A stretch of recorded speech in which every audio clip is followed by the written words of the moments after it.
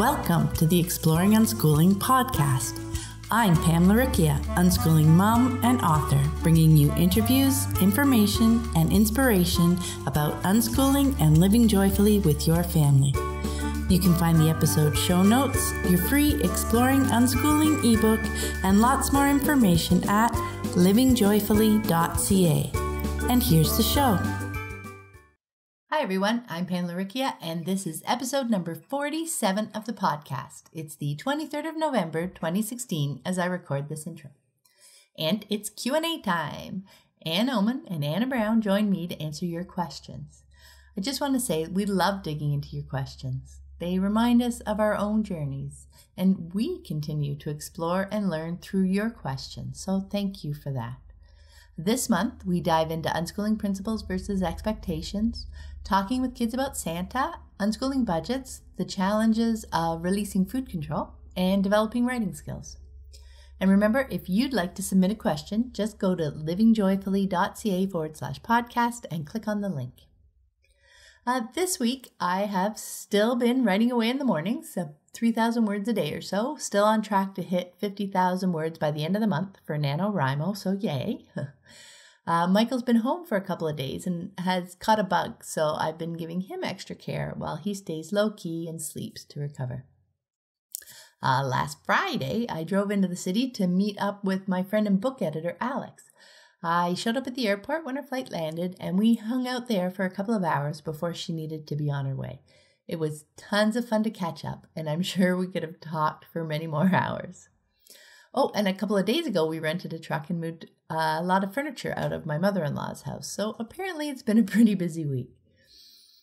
I want to give a big thank you to everyone supporting the show on Patreon, especially to new patron Laura Mascaro. Thanks, Laura. It means a lot to me that you guys enjoy the show enough to contribute where you can. Knowing you're with me keeps me motivated, especially now as I'm doing extra stuff to get a head start on the shows over the holidays, so I'll be set to spend the time with my family. You guys are awesome. And if you'd like to support the show, even for as little as a dollar a month, check out the Exploring Unschooling page at patreon.com. That's P A T R E O N dot com forward slash exploring unschooling. And this week's quote comes from Joyce Fetteroll. Unfortunately, most people are convinced that when control fails, it's because they didn't control enough. I think one of the challenges of moving to unschooling is discovering how many ways we actually try to elicit control over our children, even over our spouse and our extended family and friends. And even as we start releasing the most obvious tools of control, like insisting our children do X or Y, when things feel like they're starting to go off the rails, it can be so tempting to think that we're failing and we need to revert back to control, that we're not controlling enough. But if we take the time to dive deeper, often we discover that we're still trying to exert control, only in less obvious ways. The problem isn't that we're not controlling enough, it's that we're still controlling too much. That can be really hard to see at first, especially when our children's lives are probably already less controlled than we grew up with. Remember that not controlling isn't about leaving them on their own to sink or swim, though. There's a whole world of possibilities between being controlling and being hands off. There is so much digging and learning to do as we're deschooling, but it's really worth the effort, both for our relationships with our children and for our children's own learning about themselves and the world. They're developing self awareness and discovering how capable they really are. It is beautiful. And now, on to the questions.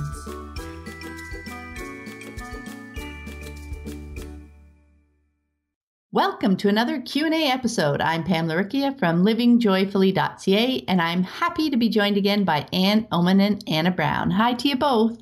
Hello. Hello. Hi. Hi, thank you so much for joining me. I have so much fun chatting about all these questions with you. It's fun to dig in. So let's get started. You want to go first, Anna? Sure. Okay, so question number one is from Aparajita, and I hope I said that okay. um, I have an almost three year old son, and we've been trying to make changes that lead toward radical unschooling. So we have tried to say yes more and let go of the controls we've had, especially over technology. My son spends a lot of time on his tablet. I used to find it alarming, but I see that he is learning and happy. However, I have also read that we need to keep offering interesting experiences and activities, not constantly though, so that there are other things that are sparkly how do I do this? He often refuses to go out and do anything else when I take out other toys or activities when engaged with his iPad, and sometimes I feel bad that he missed an outing. I don't want to force him at all. What can I do? P.S. I have a six month old too, so I feel like we stay home a lot more than we would have if it was just him and I, and I'm not able to do very long or elaborate outings on weekdays. It's mostly just the park. So, okay, I mean, I guess first what I feel like I'm hearing is that there's supposed tos and have tos in the question. So, I think it might be really helpful to let go of that and just really go back to watching your child, connecting with your child. Part of his interest may be that it fits into your life well right now with the new baby, and that's okay. You know, the new baby is a part of your life and it's a time of change and adjustment and I guess uh, what I feel most is that I would just be gentle with yourself and everyone as you all figure out this new normal for your family and just continue to look for ways to connect and be together and trust that connection and just know that you know when you're coming at it with that love and desire for connection that things will just flow and opportunities will open up. But again just be gentle with yourself and let go of this unschooling has to look like this or I'm supposed to be doing that because I feel like that might be causing the stumbling right now. So, Anne? Yes, I agree. And it seems like we've had a lot of questions like this lately. And um, I think we can start looking at it like when we um, see the child doing something that we think oh, he's doing that so much, I should, you know, put out other things that distract him away from it. You know, the child's always going to feel that you're trying to distract him away from what he's doing. So the minute we think that we need to move our child away from something, that's the red flag that comes up that we need to really um, listen to and go deeper. So, the, you know, the minute we see that, the red flag comes up, and we can utilize that and start from there and build an even stronger relationship with our child um, mm-hmm. build the trust that the trust that is needed with our child because like i said they can feel the difference. So what you can do is go deeper instead of saying oh i need to do something to get him away. No go deeper into what you your child is doing and really see your child. It's a wonderful opportunity to truly know him even more and um, to see what he's doing and uh, ask him, you know, if he can, you can watch him play because you enjoy uh, what he's doing. If you have a tablet, you could play games uh, that require two people that he might be interested in. Um, even on his own tablet, ask if you can try to play the game. My kids used to love when they were the ones showing me how to play a game. And actually, from mm-hmm. that very first time they did so, they were always the ones to show me how to play a game, and they still are the ones showing.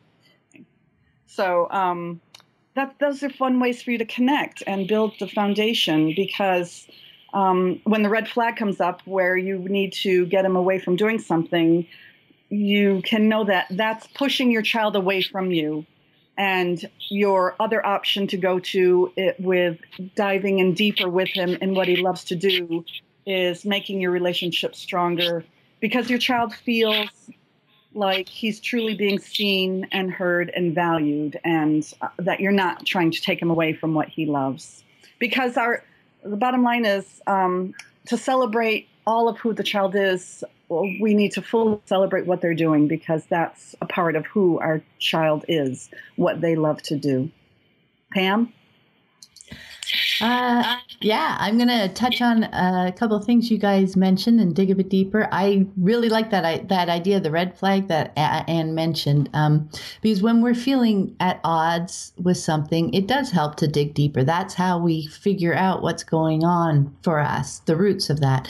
And from what you've written, it sounds um, like you're not so much concerned about your son's technology use, but that you're feeling like you're failing at some unschooling expectation, like Anna was talking about.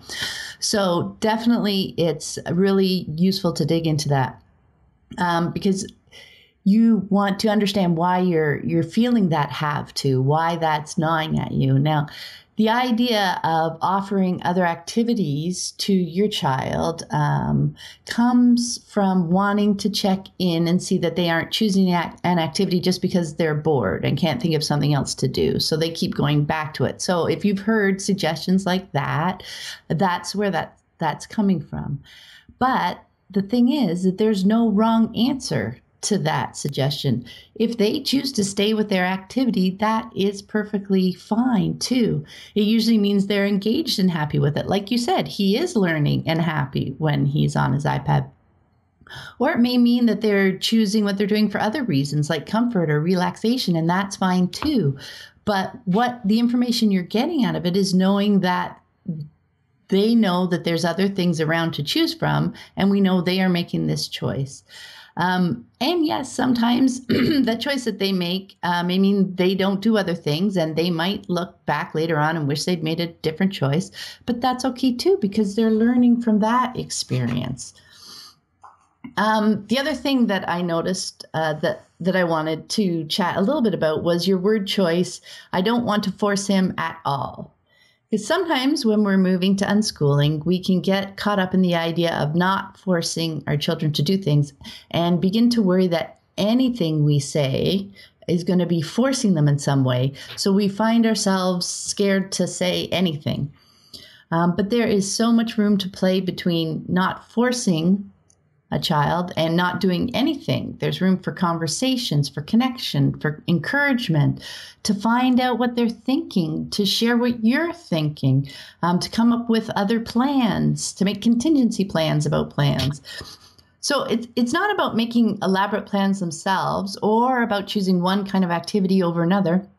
It's all about, like Anna and Anna said, our connection with our child does it feel like when you're asking him about another activity does it feel like you guys are working together that you're making that choice um, because you think he might really be uh, interested in it or because you think gee i should be offering up all these other choices and if i read it wrong and the question really was about the technology I just think it would help to think not in terms of the technology, whether he's on or off his tablet, but again, in terms of connection. I think so much of the angst over technology is at the root angst over our connection with our child. If we want to engage and connect with our children, instead of trying to convince them to stop what they're doing and come and join us, it's so much more helpful if we choose to join them what and had tons of ideas about that. So yes, you can offer other activities, but first get your connection strong. First, realize the motivation um, with which you're offering these other activities. And then you can start to bring that connection into all sorts of places, but you won't feel um, as much angst about it because now you'll know these, this is his choice. This is what he's doing. This is his joy. And I'm connecting with him there. And that's the part that's important. And you can then take that connection into any of your activities. Uh, yeah. Okay. So, oh, go ahead. I wanted to add, especially, um, you said, I believe you said you're fairly new to unschooling. You've been trying to make changes that lead toward radical unschooling. So yeah. if in the past he has you have limited his use, then he's still holding tightly onto that. And that's why your foundation and your life's energy needs to go into um, building up the trust that you have together and um, what Pam was just saying there to make that the focus. And then then you'll be able to um, have more balanced conversations with each other where it doesn't seem like you have all the power with your words as they used to have if you're new to radical unschooling. Mm-hmm. So, shall I move on to the next question? Sure. Sure. next question is from Alexandra. Hello, thank you again for taking time answering our questions. It is really interesting and useful for parents. My question is I usually hear about honesty in the unschooling life philosophy, and what about telling children about Santa and the Tooth Fairy? Should parents be honest with their children, or should they lie about all those invented fairy tale characters who bring their children presents and money? Kind regards, Alexandra. Alexandra, I really love your question, and I've always loved this conversation. We have discussed this topic very often on the Shine with Unschooling list, and it's in the archives. But I've always loved hearing other people's thoughts and feelings on the topic, um, mostly because there's no one right answer, and it depends on the family and mostly on the child. So, my family story on this topic is this. Um, as much as my husband and I examined everything that we had once thought to be true and necessary about life and parenting our child. And as much as we discarded most of mainstream society's beliefs and definitions and expectations of children because it seemed torturous to our child and not honoring of who he is, this is one area in which it didn't even occur to us that we should examine. But that's because the Santa thing didn't seem like it was something to examine because we saw society giving joy to children. And that was unusual and felt like something we could get behind. That was the basis of our lives. So we kind of just continued with what we knew of the story that Santa brings presents on Christmas Eve. The thing is, though, that our Jacob, our firstborn, has always been so deep and sensitive and takes everything to heart, and we did not account for that. Um, Jacob always felt as though he had a very special relationship with Santa Claus. He always talked about the real Santa. He felt like the real Santa was his best friend. And he knew the Santas he encountered in stores and whatever and parades that they were not the real one because after talking to them a couple of times, um, they would ask him his name, and Jacob would be outraged knowing that the real Santa, his best friend, would know his name. And the real Santa knows what he loves and what makes him light up and what he could bring him for Christmas. so these were our conversations about Santa with him having this real relationship with this person. Um, one Christmas, Jacob got out of our family bed and ran to the living room, and he came back crying. And I asked him what was wrong, and he said that there were a lot of presents in the living room, but he didn't want any. He just wanted to see and talk to and hug his best friend, Santa Claus. And honestly, I knew right in that moment how I could have done this all differently. The presents were not important to him. His relationship with Santa was what was important to him. And he was thoroughly devastated years later when he came right out and asked if Santa brings the presents. In that moment, I realized how I had been bearing how bad I felt about lying to him underneath the facade of the joy of Christmas morning.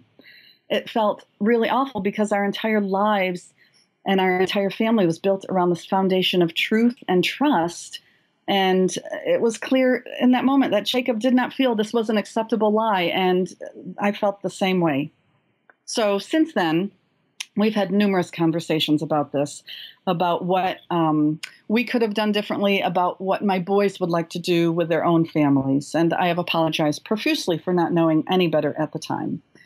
Um, we all now feel that we would want to have the spirit of Santa Claus be a part of our Christmas, talking about him, celebrating him, and yes, even believing in him believing in him as he represents love and goodness and giving and magic. And that's the relationship aspect of Santa Claus that the child can still have and connect with. That's what was important to Jacob. And we all feel in my family that we would just not have the presents be a part of our Santa story. Um, and because of your question, I wanted to bring it up again with my now 26 year old Jacob. So I sent him your question to see if he had anything else to add. And he wrote, I'm pretty sure that if the magic didn't manifest itself in the form of Santa when I was young, it would have come from somewhere else. So that's our story. And here's the other thing our unschooling lives are pretty close to being magical every day. Um, we really create our own magic by following what our children love and what feels good to them, and, and add our enthusiasm, our own joy and excitement and appreciation for this amazing life we're living you know, Christmas with my now adult young men honestly feels more magical than ever because we're not perpetuating the lie. And we create our own magic as well as holding on to our magical childhood wonder uh, during that time. So, as I said earlier, and as is true of all unschooling, there's no one absolutely right formula. Because the best thing we do as radical unschoolers, as I said, is to know our children and create a life and a world that allows them to shine and feel good about themselves and to be happy. So to take that into consideration is cool.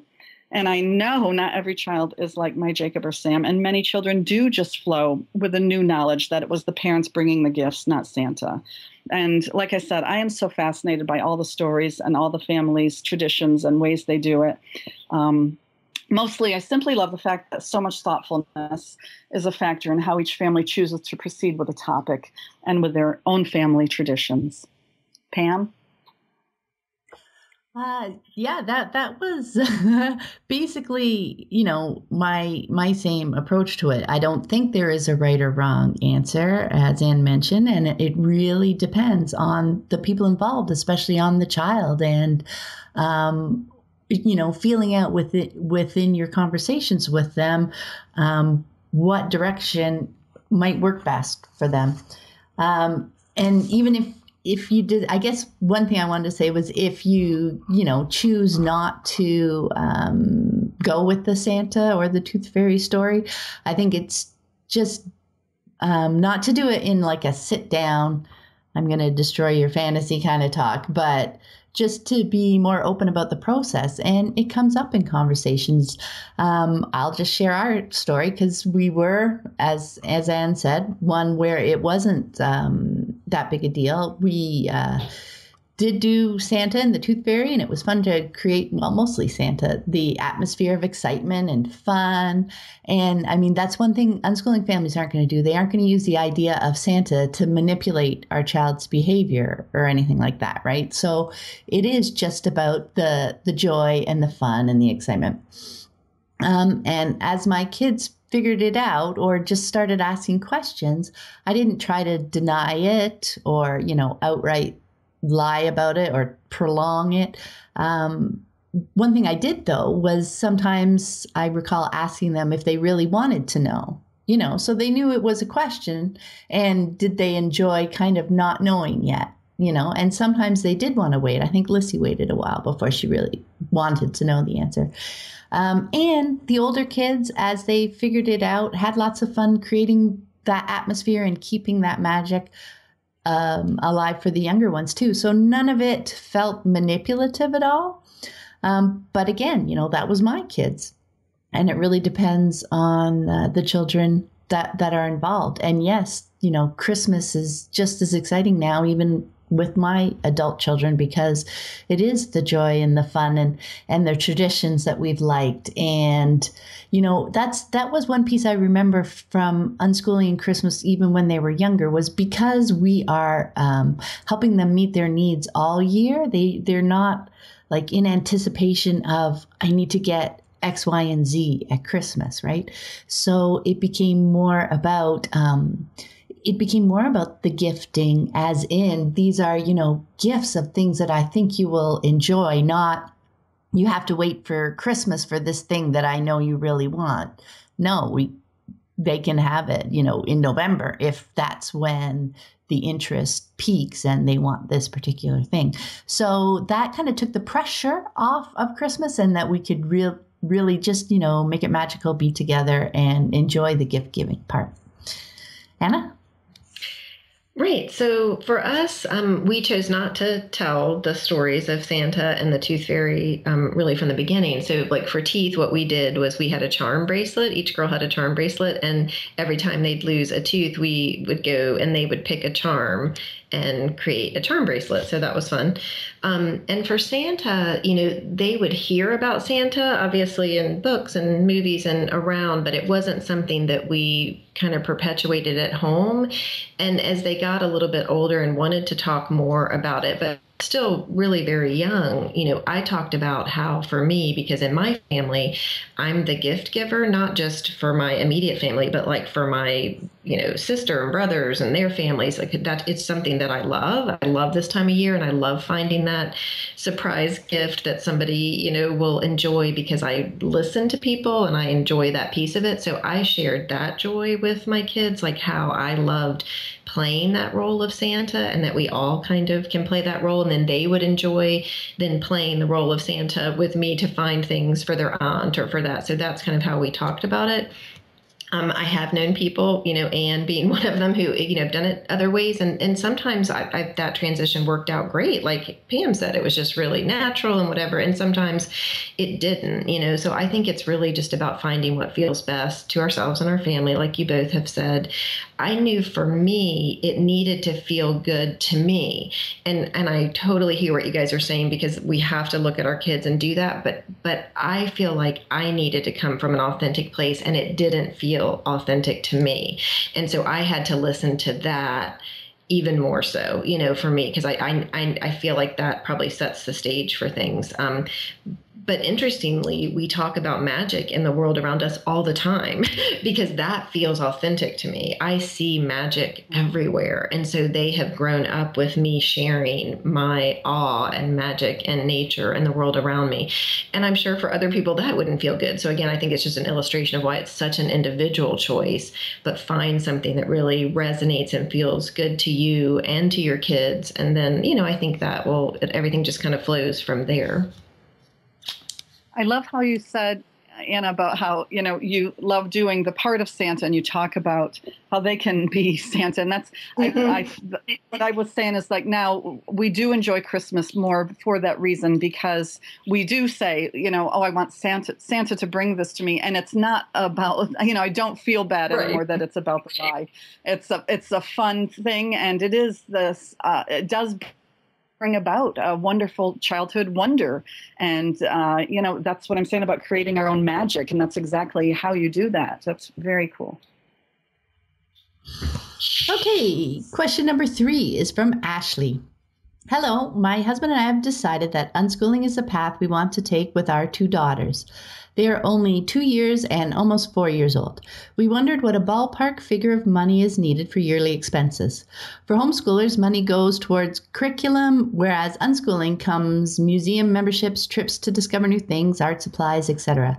What would be a good base budget for things like that per year of unschooling? So, thanks very much for your question. Ashley, and it so happens that last week's episode was all about unschooling on a budget. So I think you'll find that helpful to listen to if you haven't already. And you're right, there are definitely typical expenses that come with going to school, with homeschooling more traditionally, and with unschooling. But I don't think we can generally put a number on it. It's more about what unschooling will look like in your particular family, because families at school, homeschooling, and unschooling have all have a wide range of disposable income. Um, so if you're looking for some kind of number, um, you know, just for planning ahead, I think it would help to look to your family and estimate some of the things that you guys like to do because it's like budgeting for your lifestyle. It's like budgeting for life. If your family enjoys going out to museums regularly, you can budget for that. And if you enjoy taking trips to explore new things and places, that can be done on a shoestring budget all the way to an extravagant vacation. You know, so I think with unschooling, it's more about finding the things that your family wants to do and figuring out ways to do them within your family's means. You know, so I don't think there's, you know, a minimum budget that you need to have to be able to unschool well. You know, I think it's about uh, money is just one other, you know, constraint or parameter when you're thinking about things that you'd like to do as a family. Anna? Yeah, I would say that that was definitely how we approached it. Um, it was never budgeted out specifically as a line item. You know, here's education, here's unschooling. Um, we did spend money, obviously, on memberships and trips and books and fun things along the way. Um, but basically, we would just, as a family, look at our finances and make decisions together about the money that we had available to spend. So do we we would talk about do we want to take this big trip that maybe someone had a passion about or interested or would we rather have more kind of fun money throughout the years as things came up? And you know sometimes we could figure out a way to do both sometimes we couldn't so it's just th- these were things we talked about um, we're pretty transparent about money in our family and so we talk about the decisions as a family and we would also just have this attitude that if it was something we loved and it was feeding our passion it was something we were interested in we would find a way. You know we we would just find a way. And and i love something pam said too about the christmas thing because we very much approached it that way. Christmas was not about waiting for a big item we've wanted through the years. We would get those things you know as they came up and as they trevor for me christmas was about finding that cool magical interesting thing that maybe we didn't know about so it, you know again i think it's just a different approach but um, for us, it's just about talking and doing, and there wasn't really a budget or a line item for us. Anne? Yes, I totally agree, and that's that's um, what you talked about. Um, if there was something everybody loved to do or somebody wanted to do, that you would find a way to do it, and that's an important um, energy to hold when you're thinking about finances and everything with your unschooling lives, because we don't want to hand our children um, an energy of lack. We want to hand them, yes, possibilities, and no matter what it is. And then you come to um, how to do it through conversations and brainstorming and everything. And I have nothing else to add except to, um, I think for us, it's really important to pay attention to the energy in which you are making financial decisions. And we uh, give such thanks and have such a deep appreciation for those things that we do get to invest our life's energy, which is money, into, which is our children's joy and their interests and their questions and their passions. And, you know, compared to, um, you know, the energy that uh, where you have to spend money on things that you don't want to, if it's a school related thing or whatever, our energy can always be uh, in the yes direction of fulfilling our children's desires and allowing them to you know find what they love and fine tune who they are even more because of our investment in them. And that's just such a beautiful gift for all of us. And that's all i can yeah. say on that yeah, I think the the danger of thinking of it as a budget is is in what you were talking about, and the the atmosphere, the environment. It, as in, if exactly. you know you have so much per month, and this month you're getting close, you use the budget to say no, mm-hmm. rather than looking at the possibilities. And yeah, we had uh, I talked with Glenna quite a bit about that in the last episode, so that would be great to listen to too. Anna, you want to do the next question? Yes. Okay. So, question four, we have another question from Aparjita. Um, Hello, lovely ladies. My husband and I have been deschooling for about two months now, and we have a three year old. This question is about food. He loves chocolate and ice cream, but we did restrict these items previously. So, once we discovered radical unschooling, we decided to try saying yes more. The problem is that he prefers to eat mostly sweet foods. A few weeks back, it was ice cream. For several days, he only wanted ice cream for all his meals. We got a big tub of it and would serve it without reproach. He slowly started eating a few more things, but now he's going through a phase where he only wants chocolate chips. It's 1 p.m. here, and he has only had two bowls of chocolate chips today. I'm trying not to show any disapproval and go with it while also offering other stuff. I put out monkey platters, take food to him as he plays, bake different sweet treats, but he is reluctant to try new stuff and honestly just prefers his store bought treats. I'm worried will he ever eat properly again, or is he only going to crave different types of sweets? It's also making me angry because we spend so much time making meals, snacks, buying different packaged snacks that we think he may like, but mostly get rejected. I even say, okay, have the chocolate, but what else will you have? And the answer is nothing. Help. Okay. um, I feel like probably part of the issue is the transition. And I think Anne talked a little bit about that with your earlier question.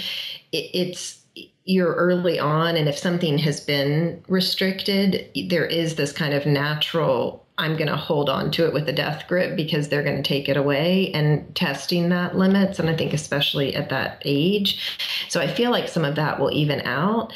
Um, but I also want to go back to something Pam said in your earlier question too, and and and also, but about it's not an either or. You know, it's not a we don't have any conversations or we do. You know, there's this in between ground that I think is just going to be partly something that you'll be figuring out you know, for us around food, we talked about our taste, you know, what we were wanting salty, sweet, hot, cold, etc. And we'd look for different options that fit. We also talked about how our body feels when we eat things. I would share, you know, how things felt for me and what helped me in the morning to get started. And if I was feeling tired or how I liked a protein in the morning or those type of things I've also know that involving kids in food prep can help a lot because then they're feeling the ownership and excitement around creating food and serving food. And that maybe that could take a little bit of the edge off the stress you're feeling preparing things that aren't getting eaten. So try cooking together, making snacks together, and maybe that can shift that energy a little bit from you're working, working, working, and and you know he's just in the point of rejecting. No, not for me, not for me. So maybe together that's something that you guys can work on um, and make it joyful and fun that you do together. I think it is important to look inside and feel what feels good to you. You know, again, we're going back to unschooling is not this set of rules or have tos. You know, there's not a checklist. You know, you're a family and together you can work to find foods and habits that feel good to all of you. And my hope was that we could all learn to all, including me and my husband, and learn to listen to our bodies and learn what makes us feel the best because I found it to be very different for everyone. You know, I, I, can't know for someone else, but I can help them listen for clues in their body and support them on their journey as they're discovering that. Um, three is very little. So I think figuring out a way to work through this that feels good will help you both. And so not using unschooling as a way to disengage, but realize that what we're talking about when we're talking about unschooling and, and letting go of that kind of authoritarian regime is to have conversations and to work together and to find something that feels good to everyone. So I'm going to stop there, but Anne, I'll let you go because you have your book too that might be helpful. Uh, right. Yes, I will get to that. um, I just want to go from what you said about how you all learn about food and what feels good to your body because that is that describes my family perfectly because we um, because of trusting my children they've been they've had the sacred space to feel out what is right for them and explore um, paths that we weren't currently on like um, being a vegetarian and stuff um, on their own without feeling weight of judgment early on about how they should be eating healthy or anything. So they've got to own how they feel about food for themselves. They've had the space to um, eat food and see how their body feels and reacts to it. And this is crucial. This is crucial for them. They're 22 and 26 now, and um, Jacob is uh, right now he's gluten free and he's going through something where he's having stomach issues and you know the first thing he knows about is what he's putting in his body to help him feel better um, and that's we all learned about all the time when Jacob wanted to be a vegetarian. I was on the computer saying, "Okay, this is cool." You know, my first thought wasn't, "Oh my God, this is going to be hard work. How do I do this? I can't even think about this." It was, "Wow, this feels exciting. This is something my child wants. Let's learn how we can do this." Um, and back when um, my kids were little, there weren't gluten free options back then. And now, um, you know, Jacob is uh, celebrating the fact that there are so many gluten free options now. And that's because know their bodies from being trusted. And the what started me with trusting the kids was a book I read when Jacob was less than two years old, and the book has been revised. It's now called Kids, Carrots, and Candy: a practical, positive approach to raising children free of food and weight problems. Um, a lot of people, I've recommended this book in other podcasts and uh, several times, and mo- many people find value in this. Um, the most important thing for me is to not place more importance on one food and to not vilify, vilify the other foods. And that's what this book also tells you to offer things as if they are equal and talk about how our bodies feel when we eat stuff. And so, once again, this comes back to, uh, you know, for me, it's another red flag when I'm saying, okay, this is making me angry. That's a flag for us to look at ourselves. Surprisingly, you think it's about the child. No, it's about us. So it's time to look at us and say, what's making me angry? Why am I feeling this way? And how can I see my child better? And how can I know my child better? So the answer is usually trust and better connection. Your energy is the most important thing here trust, information, and non judgment. Mm-hmm. Pam? Yeah, I love all that. And uh, yeah, again, I can hear through your questions um, that you're deep in deschooling. You're trying things out, you're noticing your thoughts and reactions, you're questioning them, and that's really great. I just want to encourage you to keep going. Um, and remember, as Anna mentioned that he's also figuring out this new environment, right? Um, things are shifting for him too. I can imagine that he's really happy that he's hearing more yeses from you guys, but I also imagine he's wondering if it's going to last. So it's likely that though you're trying, you, you mentioned you're trying hard not to show any disapproval of his choices, I'm pretty sure he's feeling the tension. Um, and, and even that's okay. It is what it is. But as, as Anna said, he's probably going to be holding on more tightly to these newfound freedoms until he feels that things are truly a choice, that he's not in the middle of a short window of opportunity right now where he gets to fill up on sweets.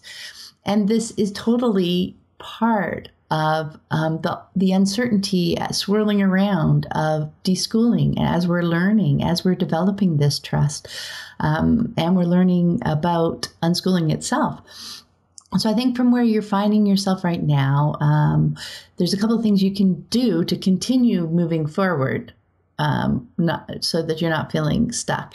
And that's learning more about unschooling and yourself. As Anne mentioned, this when these red flags come up, uh, chances are it's not really about our child. It's more learning for us to do. So much questioning, and it's really hard, but it's totally, totally worth it.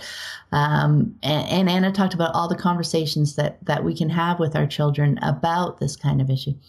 Um, and and Anne mentioned the book Kids Carrots and Candy, so that'll be a great way that you can start diving into and learning more about food itself. Um, and on the relationship front, you've got the conversations um, so that you can um, both you and your son be learning together about how food uh, makes you feel, but also stop setting yourself up to feel rejected and angry. Stop spending so much time making meals and snacks that you think he'll enjoy because right now, from what you've written, it sounds like you're making them from a place of expectation, not from a place of exploration, of just offering these things that he may like. So, you know, when you think about it, when you dig a bit deeper, maybe you will continue to make those things, but do it because you and your husband like them, full stop. And if your son wants to try them, that's cool, but don't expect it that's those expectations that get in the way. So bringing all that stuff together, you're going to be addressing learning, like through through the book and, and other research to to learn why um, it's so helpful to uh, offer up choices to our children in, when it comes to food and helping them explore how it feels for them rather than judging it. And also through living through your relationship and connection with him and to realize this anger and rejection that you're feeling about food is all about you and to dig deeper into where that's coming from. And I think as you get into all that over time, um, it will help dissolve that tension that you're feeling right now, which I think is also locking your son into his choices. So, like I said, this is deschooling. It's beautiful, and keep going. okay. You want to do the last question, Anne? Yeah. yeah I'm going to do the last question from Maria. She says, Hi, I am a mom to three kids, ages 16, 14, and 12. My oldest daughter chooses to go to school and is a junior in high school. We are in our sixth year of unschooling with my two sons. They both had very traumatic school experiences. Both were asked to leave the public school system due to disruptive behavior and were placed in a BOCES program, a school for kids with learning difficulties. When we we learned of unschooling and decided to take that path. My oldest was finishing up third grade, and my youngest was finishing his second year of first grade. Being that their school years were so traumatic, I understood they needed a lot of time to heal from all of the scarring school had left them with. We are into our sixth year of our unschooling journey, and we are all much happier and connected. My question is about writing. Both of my boys spend the majority of their time on electronic devices and are quite fluent with texting and typing. My younger son at 12 has just started reading, not strongly, but it's coming slowly. He really struggles with writing, though. Whenever the opportunity to write comes up, um, say he needs to write his name on something, he struggles, gets embarrassed, gets upset with himself for being stupid. I've tried to explain to him that kids who are in school are forced to write all day long and that it's just practice that makes you good at something. I started leaving a notebook on the table within a month with a month and date written out every day with a pencil next to it in case he wants to practice writing and he often does. But it's it's not a lot, but I figured it would at least put a pencil in his hand and get him used to it. His handwriting doesn't seem to be improving at all and he is getting frustrated with himself. I've read a lot about reading coming naturally when kids are ready, but I haven't heard much about writing. In your experience, is writing something that comes naturally as well, or is it something that really takes practice to get comfortable with? I hate to watch him struggle so much and get so down on himself. I'd like to help him any way that I can, but I just don't know the best way to go about it. Thank you for your time. I really enjoy listening to the podcast. Hi, Maria. I really love your question and I'm excited to talk about it. Um, first, I want to back up and just address what you said about BOCES. And it may seem off topic, but it has a lot to do with um, the energy uh, in which we are unschooling, in which we are talking about our children, and um, the language that we use for to describe our children and everything. So, you know, that it's a school for emotional uh, kids with emotional disabilities, and I live in New York State, and I've never seen uh, BOCES as that ever, even as a child in school. Because back then, I knew a lot of kids who went to BOCES, and I also knew they were the kids who the school viewed as not doing well in math and sciences. But from my perspective, they weren't sent there because they had learning disabilities. They went there because the school was miraculously accommodating to those whose brains weren't wired for math and sciences to me, honestly, these were the coolest kids who got to leave all of the nothingness that school felt like to me, which memorizing facts and spewing them back to the teachers just in case we needed them someday. And they got to go to a place and do real world things. My friends wouldn't just study cosmetology and woodworking and auto mechanics, they would actually be doing those things. I felt like I was the one who was missing out on knowing what was out in the real world because I happened to get good grades in math and sciences, but I knew nothing of the real world. So, my point of talking about this is it's very important how we see our children. They know when um, we're seeing them and still describing them through a lens that's that is less than, and it's it's not fair to them. They feel that. I think it's a wonderful thing that BOCES is available for school kids whose brains don't work well with the school system or whose spirits spirits need to be free. Um, and I'm so sorry that your children have felt that they, uh, you know, were less than they had such a difficult time. I am so glad you're schooling and you're healing, and you had said that you're so much happier and connected now. That is so wonderful. I think also it's important for you to just check um, for their healing and your own healing to eliminate any concept from your mind that they were, um, you know, in school and getting in trouble for being for misbehaving and everything. Um, the fact that they were seen as difficult students to me is a wonderful thing.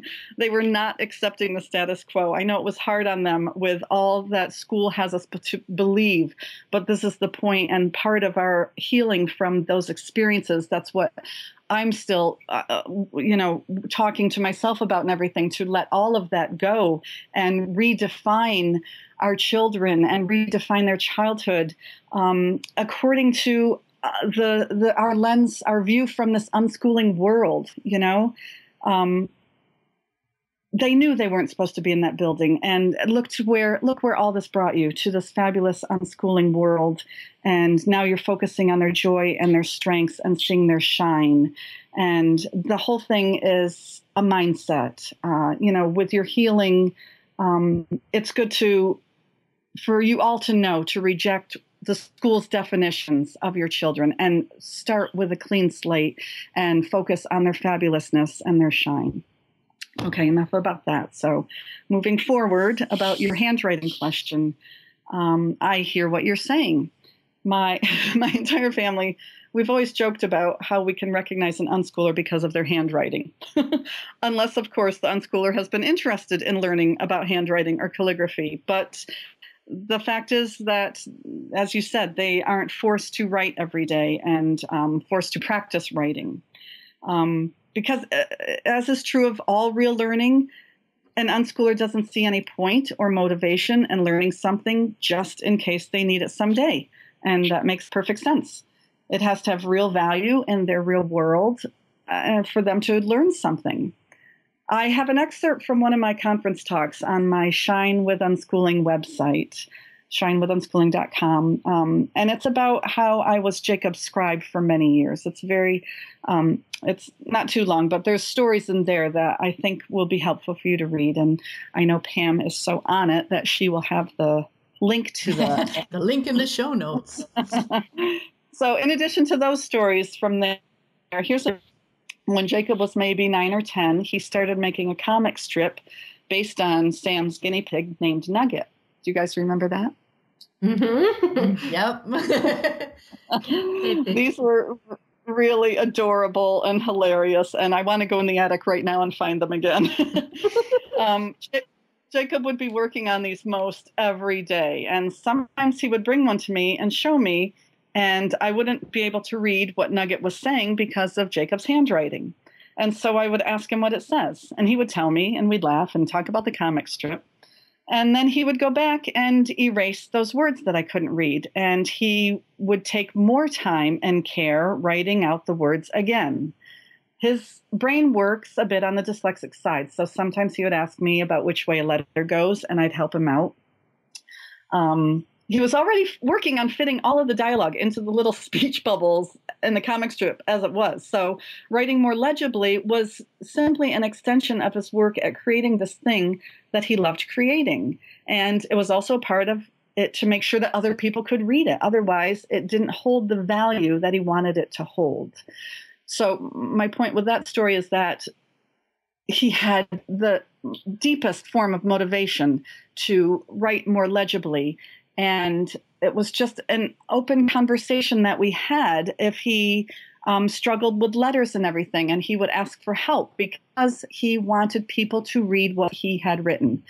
Also i didn't there were times when his writing was backwards and things were spelled wrong and i always said to my kids uh, um, if they were successful in getting a message to me by the written word, then that's all that mattered. I understood what they were writing, and through reading and trust that they they would later know how to make those letters better, how to spell words better, and everything else. Um, another story: the first time my kids ever really needed to work on their penmanship was when they needed to come up with a signature to apply for their driver's permit. We've had this conversation on um, Shine with Unschooling list also in the archives. Um, of course, talked about it ahead of time, and they were already um, going kind of outside their unschooling flow to pick up a book and study uh, how to get a driver's permit because they wanted to get a driver's permit. So they were doing this. So an extension of that was figuring out how they wanted to sign their name because this was something they needed for something they really wanted to do. Um, so they would write their name over and over, deciding for themselves what looked good and what felt good and I would show them like you know what I was taught with cursive, how the letters connect, and they never liked that. Um, they would kind of have a, their own creative, fancy printing of their name for their signature, and um, again, this came from within them, themselves. No one told them they had to practice. They wanted to feel good about themselves. They didn't want to be embarrassed when we took them to the DMV. And we, as unschooling parents, set up our children's lives so that they can feel good about themselves and succeed at something they want to do. Um, one more story just last week, as we were heading to our local polling place for the election. Um, my husband and Sam and I, Sam's 22, were talking about what we needed to take with us. And my husband asked Sam if he had his photo ID. And I said, that's good to have. But remember, they identify everybody by matching our current signature to our past signatures. And Sam, Sam went a little blank in his face and he said, well, that's iffy in my case. And that's because he never really needs his signature and he does it once in a while. So, um, you know, part of them finding a good signature for themselves was making sure it was reusable year after year for, for exactly this reason. Um, so uh, the whole thing is it's a different world we live in now. Uh, we use our thumbprints to unlock our home screen on our phones, and our typing skills on a tiny touch screen has way more value than our handwriting skills. Um, so you never even really know when you will need it. But when it has value to your son, that's where the motivation is going to come from. And I hear you say that you don't want to see him struggle. So, as I was saying, you don't need to put him in a position of struggling. When something comes up, you can help him feel good about himself and uh, work on it at that time because it has real meaning in his real life. Pam? I'm just going to step back for a second and say, Hi, Maria. I'm very glad you're enjoying the podcast. Yay. Um, and I love that you've been able to bring the boys home, as Anne was talking about, and out of what was for them a traumatic atmosphere. Um, so, what I thought I'd talk about is when when my kids were feeling down over the years about developing some skill that they're finding challenging, and you know the, one, the point that's really big that Anne talked about is that it's when they find value. Um, it's it's also having the conversation about you know where are the messages that you're getting that you're not good at this or what do you think um, why do you want to do it you know helping them process that. So I, I wanted to come at that conversation um, from a few angles. So one is, uh, especially with with handwriting over the years with my kids, as conversations came up, I would mention, as as you did, said you did, that uh, school kids need to be proficient at it, and and why that is, and how typing um, is actually a much more applicable skill moving forward right now um, in our culture. Uh, how handwriting skills run the gamut in adults now, like the stereotype of the doctor with notoriously bad handwriting having hard to read handwriting is not equated with intelligence, you know. So when that frustration came up, I made a point of point uh, of pointing that out when we were out and about and we saw examples of other people's handwriting. It's funny.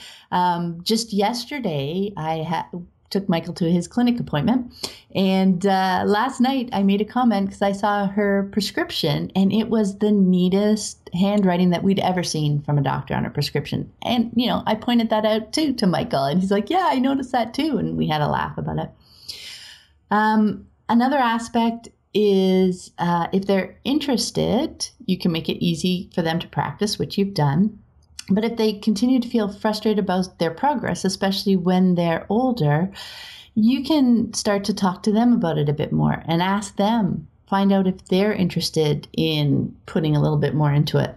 Sometimes when they express frustration to us, that venting is enough for them, you know, and we're someone that they can vent to. They wish they were progressing faster, hence the vent, um, but they aren't interested in um, learning more or putting more effort into it they're willing to put up with a slower pace if it's something that they value. So we just continue to listen and validate. But if they're looking for more, then um, I offer to research different things for them. You know, so if if they're trying out one way and they're still being frustrated, um, it's not so much about telling them to just make more time to doing it maybe maybe i can find different ways different things that can help them uh, make more progress.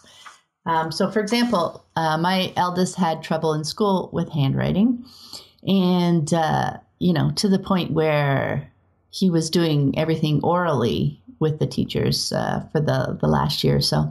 And i remember from my research back then that visual spatial learners are more apt to have trouble with handwriting and that even you know within the school environment where we were it was suggested you know just just keyboarding as an alternative and doing things orally and these things are even more uh, acceptable and part of our culture now. So I thought that was, you know, with so much audio content, with so much, uh, you know, keyboarding and computer use. You know, that's a great alternative. They also found um, that some found calligraphy much easier than your typical handwriting because it was about uh, allowing them to slow down and giving them time to form beautiful letters.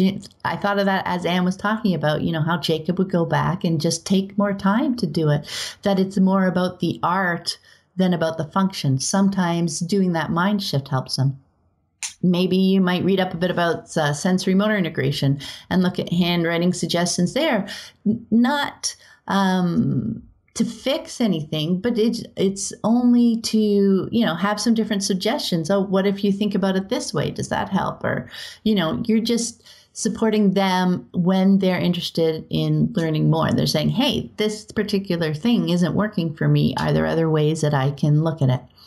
And alongside that, when they were feeling down, um, I would take the extra time for them to see the many ways in which they shine. and talked about that too.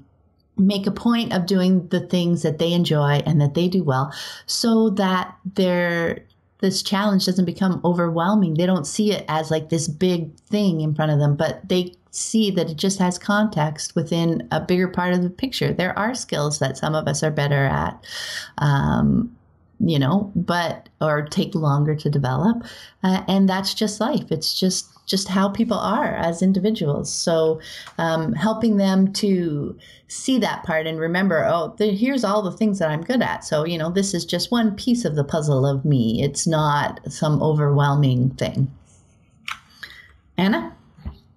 Yeah, excuse me. Yes to all of that. And I'll just specifically talk about writing here just as some more examples. Um, you know, one of my girls clearly wanted to master writing and it's she didn't really even bring that to me. What I would find is sheets of paper where she had just written over and over and over again and i mean countless sheets of paper and i thought it was so interesting. So she it was just something she took an interest in. She wanted to have a particular handwriting. She wanted it to look a certain way and she just she did that you know um, and she developed a handwriting that she's comfortable with. And she did the exact same thing when it came time to signing her name. You'd see her signing different ways and finding one she could repeat. She did want it to look in kind of a cursive way. And so she, that's, you know, again, not something we talked about specifically. So she just worked on that and I showed her a few things and then she just practiced until it you know made sense to her and that she had a signature that she was comfortable with. Um, my other daughter has some dexterity issues and handwriting never came easy for her. And and when they were growing up raylan my younger one would always be the one that would write things down um, for the big idea you know that afton would have. Um, she didn't want to practice it because she's also a person who likes to do things perfectly the first time so that can make things extra challenging when you have an expectation of it being perfect and it takes time with something like that. Um, for the most part, she doesn't write. You know, when it came time for her to sign her name, I looked up the laws and we both explored kind of what needed to, you know, what had to be done, what constituted a signature. And we found out that technically you can just put an X, you know, that that's legally a signature. Um, she is able to print her name in a way that she feels comfortable with. So she just uses that on her driver's license, on other things like that. She never uses a cursive signature signature, and it works just fine for her in our research and exploration, we did find, just like Pam said, that lots of people have terrible handwriting and that it really isn't any kind of indication of, you know, aptitude or smart or not smart. So, you know, just seeing that was helpful for her to kind of let go of any fear she had around that and took that pressure off as she found her own way. I find her print to be very readable. I like it. I think it's it looks great, and it's like she gets her across her ideas to me perfectly. For her, she finds it slow, so it's not her preferred method of communicating. She is lightning fast at texting and typing, and that's really what she uses most in her life. And so, eh, for us, it was really just that, like finding what works for both. Um, I did have tools around the time. If, you know, we talked about it. Do you want to try these different things? Do these different things? Sometimes they used them, sometimes they didn't. Um, really, for the most part, it became practice for the one, and the other just deciding it wasn't something she was interested in. And you know, maybe it will be when she's older, and it may not be because, again, I think we have so much technology now where it isn't that necessary. And so that's just kind of been our story about writing. Uh, yeah, when when it came to signatures too, oh, I'm just gonna say, um, you know, my the boys would they they print them like for their mm-hmm. on the forms the odd time that they have to do it, and and you know they may worry about it a bit and think it and but when they go you know nobody ever blinks because yeah. they see like handwriting has such a variety nobody who has to take in a form with a signature you know I, have never seen anyone judge a signature like like anne said it's just more that it's kind of it, that it looks the same over time right. it doesn't matter with the x or you know whatever it is Right, and, and they, they account for the change too. You know, I mean, like even with voting, you're 18 when you can first right. vote, and so of course your handwriting's going to change throughout that time. Um, I just want to share a couple share a couple more things. When Jacob is an artist, and um, we went to the Eric Carle Museum one time, and we were looking at this display of some of his notes, and I called Jacob over. I'm like, Jacob, look you can't read Eric Carle's writing either. You're just like hugging each other, going. And it was the same thing when we went to look at Tim Burton's display of uh, exhibit yep. of his at the mm-hmm. MoMA. And um, it, it, just is, and uh, and to this day at the library, Jacob works with me at the library, and we have I have another um, clerk named Kathy, and we will just say like if Kathy and I are talking um, and we see something that Jacob had written down, we'd be like, what does that say? You know, I mean, we just say, and then Kathy will be like, I'll, I'll write that next time for him. You know, she doesn't, nobody makes fun of him for his, who he is because the whole person is taken into account from right. when we see a person. Their handwriting is probably the least concern of yes. anybody else when you are encountering a person. It has nothing to do with who they are and their energy, but it is um, you know does come from who they are and so it is what it is so that's why it should be gloriously unique and celebrated so mm-hmm. as always yeah, I think it, it's just when issues like this come up, it's just another piece of deschooling for us, you know, realizing, hey, we're judging this. Hey, he's right. gotten the message that it's something to be judged, you know, and to peel back those layers and get past that judgment piece and realize it's just who a person is in the world, who they are. okay, that is the last question for this month. I want to thank you both so much for answering questions with me because it's always lots of fun. Mm, uh, just a reminder.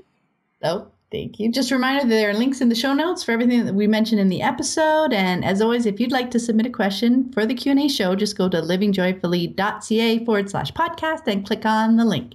Have a great day, everyone, and bye. Bye. bye. Thanks for listening today. I hope you found it helpful. You might also like the backlist episodes at livingjoyfully.ca forward slash podcast.